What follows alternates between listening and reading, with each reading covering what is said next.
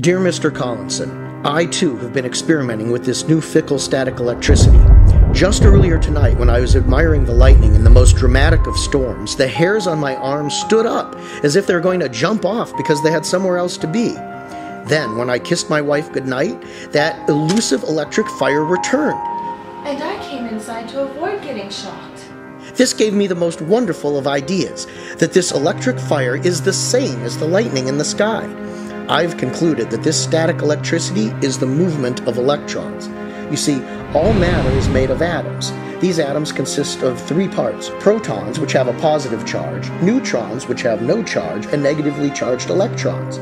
Many of these electrons are not strongly bound with the atom to which they belong, allowing them to rub off and collect.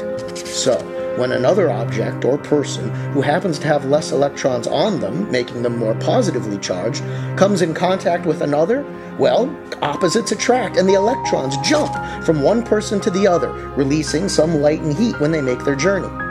Some objects, like metal, allow the movement of electrons more freely, which is why static electricity seems to be attracted to it so.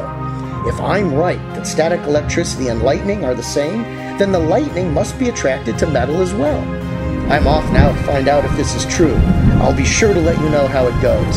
Signed, your friend, Ben Franklin.